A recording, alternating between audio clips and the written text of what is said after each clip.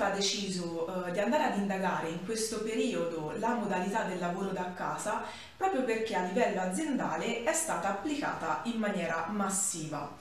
Eh, quindi eh, ovviamente ci si è preoccupati eh, di quello che attualmente è lo stato d'animo delle persone eh, che si trovano in questo isolamento forzato seppur continuando eh, a lavorare e ad essere produttivi e ad avere continuamente contatti con i loro colleghi tramite tutti quelli che sono gli strumenti che sono stati messi a disposizione. Tutto questo eh, ovviamente eh, diciamo, ci ha fatto comunque ehm, improntare l'indagine su quelli che possono essere sia gli aspetti eh, positivi che gli aspetti negativi legati a questa modalità eh, di lavoro. I dati che emergono da questa indagine che abbiamo fatto a Sinter sono molto interessanti.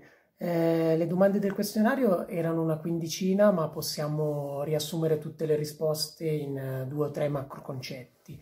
Innanzitutto lo smart working eh, piace molto come modalità operativa. Oltre il 90% di chi lavora a Sintra infatti continuerebbe ad utilizzarlo anche dopo questa emergenza.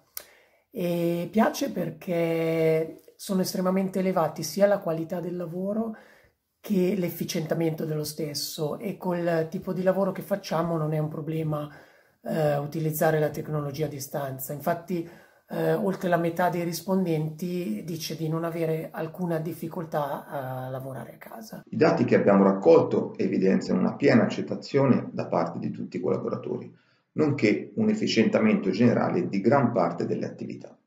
Per contro, a tutti noi mancano i rapporti personali tra colleghi ed i momenti conviviali.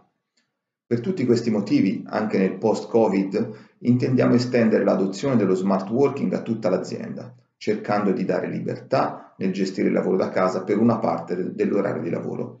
I dati e le nostre esperienze portano a considerare uno o due giorni alla settimana come una configurazione ottimale di lavoro da remoto. Vogliamo così consolidare il passaggio dal concetto di tempo impiegato al lavoro al concetto di valore trasferito verso il mercato. Crediamo che questo possa essere di comune beneficio per tutti, per l'azienda, per i nostri clienti, per i collaboratori e per le loro famiglie.